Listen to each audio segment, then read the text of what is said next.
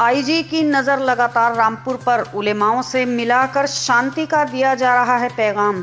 UP के रामपुर में लगातार अधिकारी नज़र बनाए रखे हैं। प्रशासनिक अधिकारी उलेमाओं से मिलकर शांति का पैगाम दे रहे हैं। उसी एडीजी बरेली अविनाश चंद्रा, आज सज्जादा नशीन शाह फरहत अहमद जमाली के आह्वान पर रामपुर की जामा मस्जिद पहुँचे और 21 दिसंबर की हुई घटना को लेकर उलमाए एक राम से मुलाकात की। करीब एक घंटे से पैदल गश्त यहाँ पे कर रहे हैं।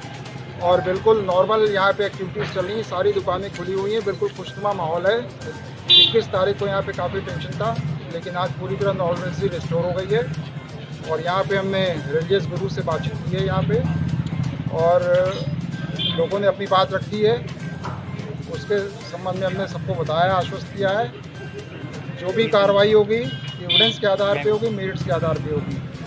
किसी को अगर वो निर्दोष है और अब उसका वो प्रमाण दे रहा है, उसको हम लोग एक्सेप्ट करेंगे।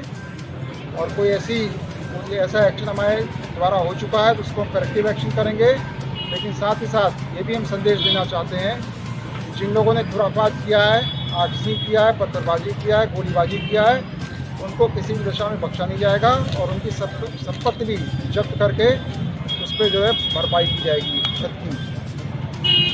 अमन चैन बनाए रखने के लिए पीस बनाए रखने के लिए, आपसी सौहार्द बनाए रखने के लिए। मैं सभी रामपुर के नगरवासियों से साधारण अनुरोध करता हूँ, विनम्र आग्रह करता हूँ, हर दशा में पीस बनाए रखें, किसी के बहकावे मत आएँ, अफवाहों पर न जाएँ, और हर दशा में शांति बनाए रखें। सबसे ज़्यादा महत्वपूर्ण ये है, क्योंकि रिश्ता बनाने में सालों लग जाता है, महीनों लग जाता है, और बिगाड़ने में एक मिनट नहीं लगता। तो ये मेरा सबसे अपील है। बाकी यहाँ पे इस समय पूरी तरह नॉर्मल स्थिति है।